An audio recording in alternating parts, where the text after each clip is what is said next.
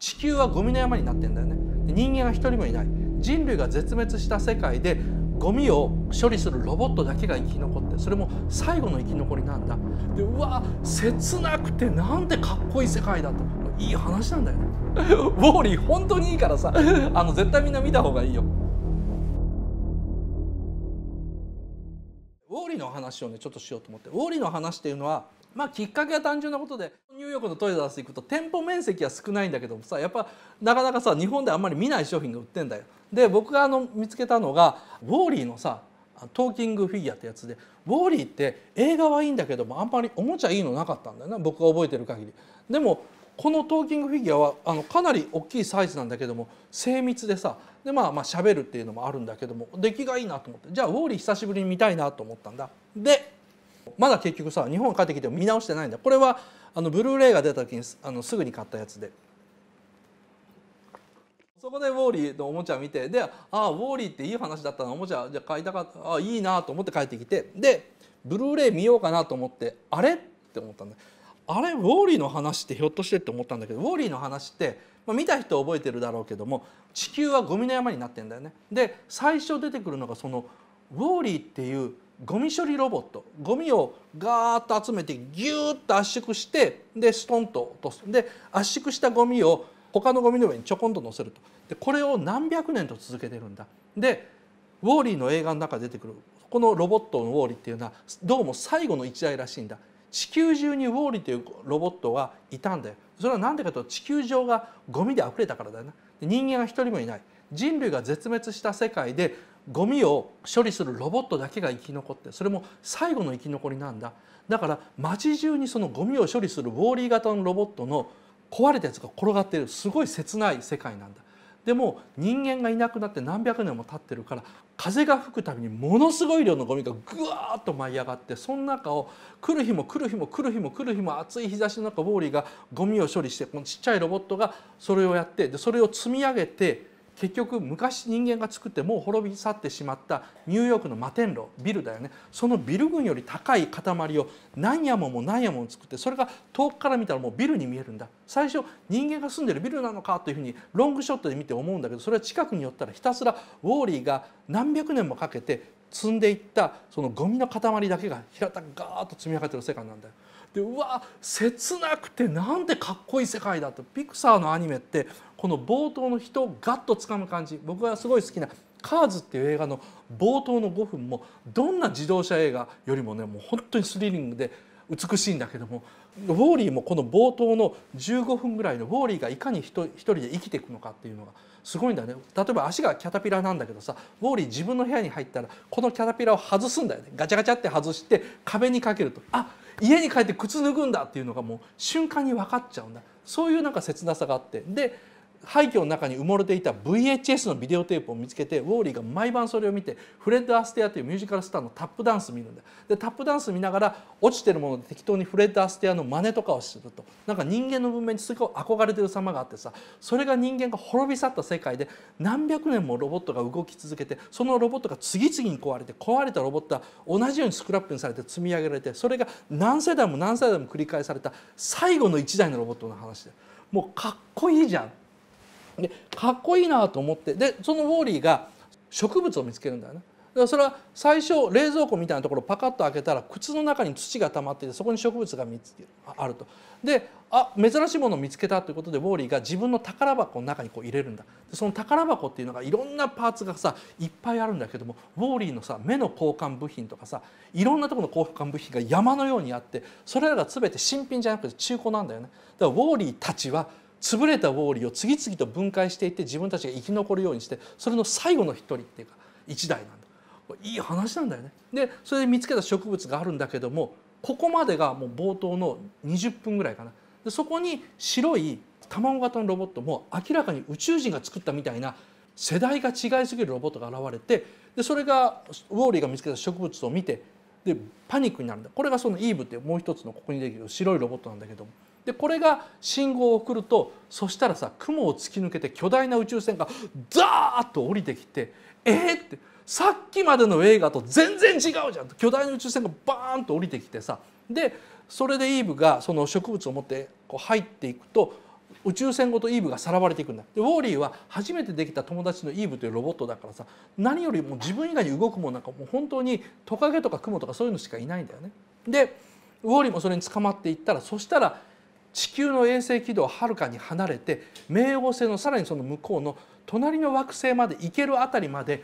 すっごい周回軌道っていうんだけども地球に近づいては離れ近づいては離れるというまるでハレー彗星みたいな軌道を進んでる巨大宇宙船と出会うんだこの巨大宇宙船の中に実は人類が生き残った人類が全部乗ってるっていう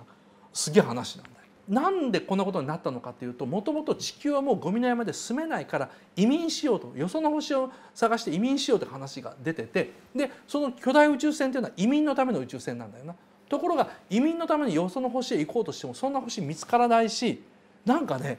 そこへ行くの怖くなっちゃったんだよね何世代か前の船長が。で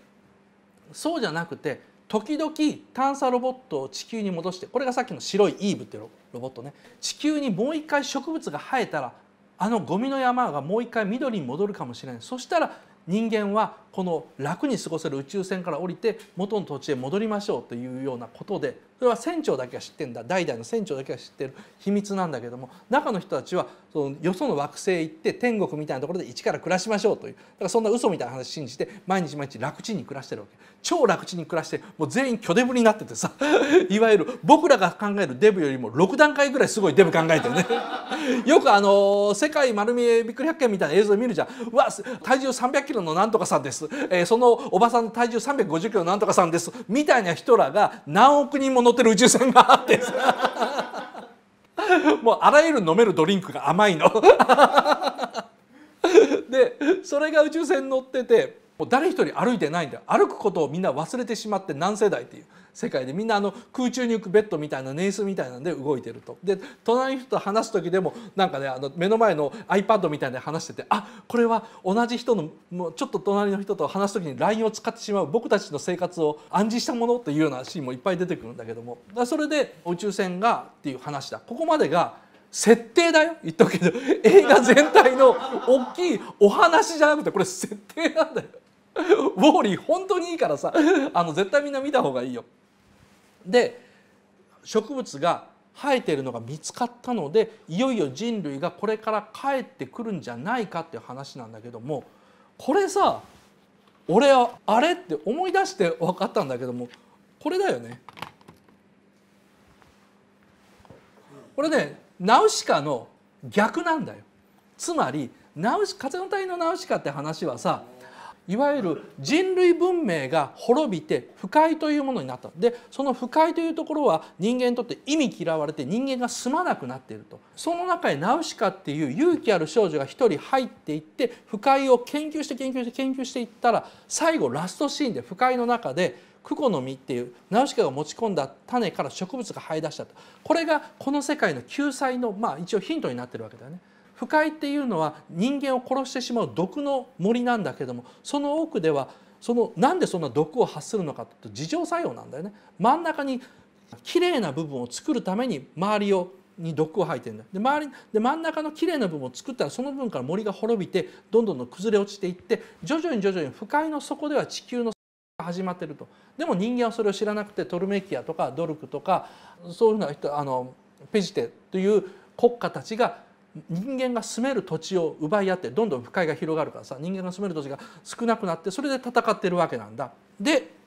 これねその人間が汚れた地球を離れて宇宙に行ったっていう話と不快っていうのを恐れて人間が風の谷みたいな小さいところで住むんだけどもどんどん不快が広がってどうしようもないでも不快の底には植物が生え始めてるもう希望の光が見えてるっていうこのナウシカと実はねあの